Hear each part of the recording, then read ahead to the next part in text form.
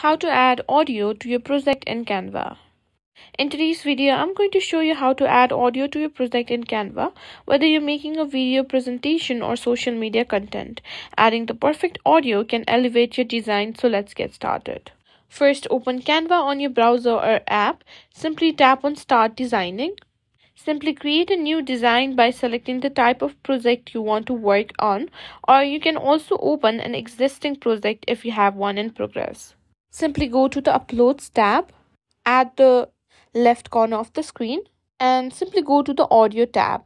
Now what you can do is simply tap on upload files or you can simply drag media here to upload. Just tap on upload files and if you want to add a video you can simply add video from over here. Now we want to add music so go to music tab and simply choose your music from the music library.